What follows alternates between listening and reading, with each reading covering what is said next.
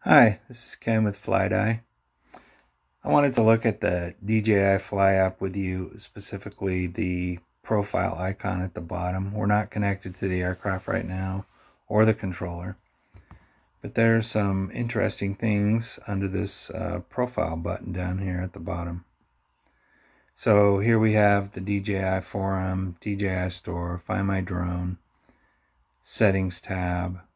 Under Settings is your update links and stuff like that, which you can you can uh, um, find all this same stuff when you're flying and the um, you're connected to the aircraft. But it's interesting. It's good to know that it's there. Today I wanted to look at the flight logs over on the left side of the screen.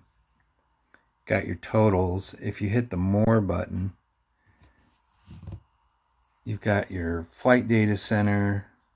It's got all your flights with the basic information.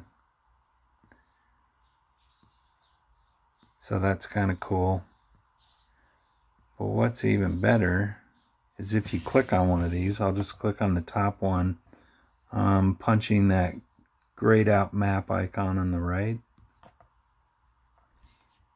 The actual flight comes up the flight path and it starts playing.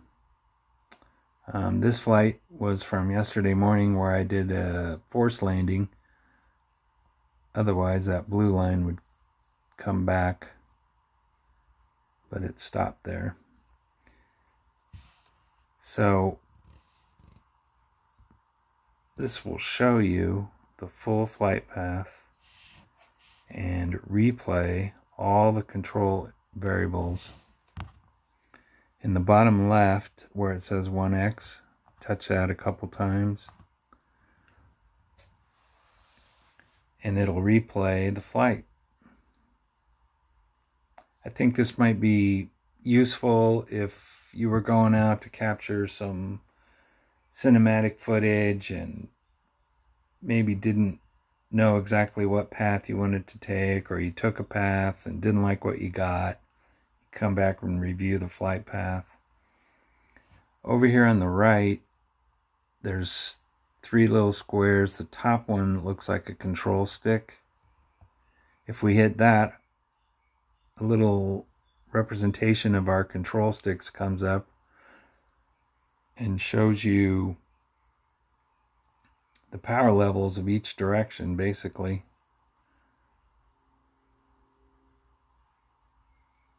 So that's pretty cool, kind of gimmicky. I don't know what good that would be, but the next one will recenter the map on the home point. The one on the bottom, and this is really handy, is we can put this in satellite mode. If we hit it again, turn that off. But basically, this thing replays all the warnings, um, all the variables, all the controls. And you can basically relive your flight from altitude here looking down at it. Anyway I thought this was really cool. I would have never found it but I have a tendency to poke around at software so that's exactly what I did. I poked around and kept poking around until this popped up. Anyway, if you like that, uh, give me a thumbs up. And I appreciate you taking the time to watch this video. Thank you, and we'll see you next time.